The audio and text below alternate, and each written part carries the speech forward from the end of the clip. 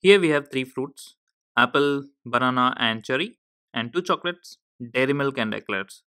If I'm asked to choose a fruit or a chocolate, I would do it in this way. So the set with my choice of selection will be either apple or banana or cherry or dairy milk or eclairs. So I can select in five different ways.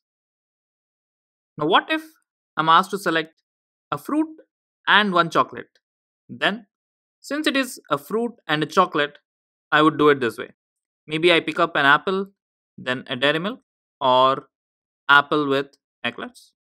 Otherwise, banana and dairy milk or banana and eclairs and the other two cherry and dairy milk and cherry and eclairs. So how many different selections are possible? I have 1, 2, 3, 4, 5 and 6. If I think selecting the fruits as even to 1 and selecting the chocolates as even 2 and if these two are separate that is if there are no common terms and let's assume that this can be done in some m ways and this could be done in some n ways.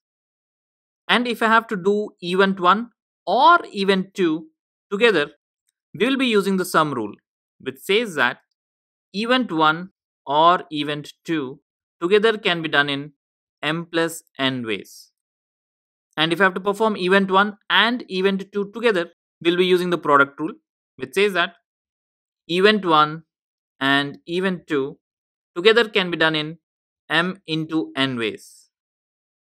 The sum rule stresses on or and the product rule stresses on and. Here we have a question. How many different bit strings of length 7 are there? So they are saying a string with 7. So let me take this as 7 positions. Now the string is a bit string. So it has two possible options. It can be 0 or 1.